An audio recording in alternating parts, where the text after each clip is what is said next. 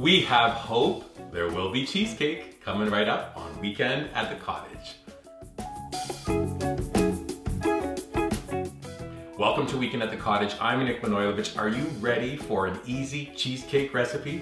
We have to thank Carol's sister-in-law, Hope, for this. And this is a recipe that she and her mom, Mary, Mary Cook make.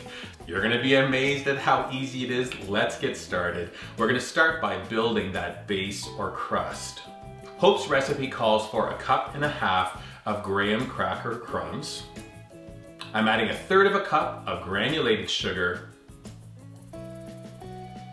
and then half a cup of melted butter. Stir those ingredients together. I'm gonna pour them into a 9 by 13 glass casserole, push it down, tamp it down right to the edge, and then stick it in the fridge to chill for about 15 minutes. While that crust base is chilling, we're gonna make the filling. Check this out.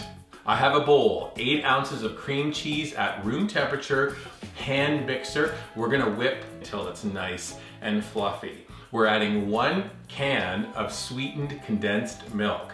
We're gonna cream those two ingredients together.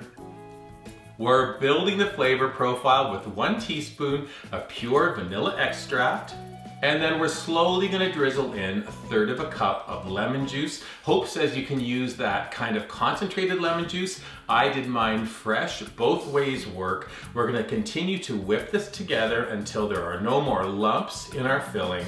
Bring the chilled casserole dish out of the fridge. We're gonna pour the filling in and just kind of smooth it across the top. I kind of like took a little spatula and tried to make it look fancy. We're gonna cover and it needs to go into the fridge overnight.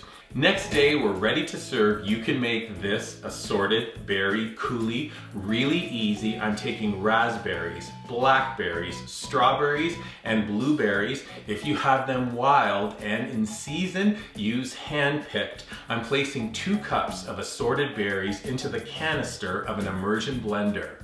Quarter cup of icing sugar, two ounces of orange juice, and then let's give this coulis a little bit of zing. I'm adding the juice from half of a lemon.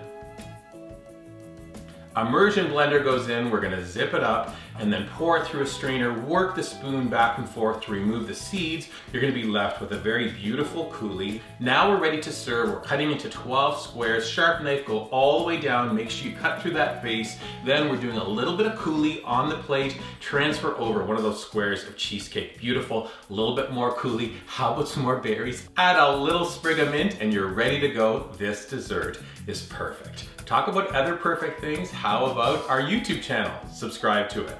What else would be perfect? Go to our dedicated website, subscribe to that. And then finally, find us on your favorite socials like Pinterest, Instagram, Facebook, and Twitter. This easy cheesecake recipe can be yours. I'm just thankful Hope is in my life to share it with us. I hope you make it and enjoy it. Easy cheesecake recipe. oh, it's beautiful. Oh, beautiful. Mm.